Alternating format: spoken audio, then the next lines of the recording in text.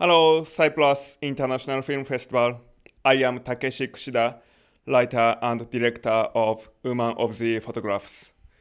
On behalf of Hideki Nagai, I would like to thank for Best Leading Actor. F. arigato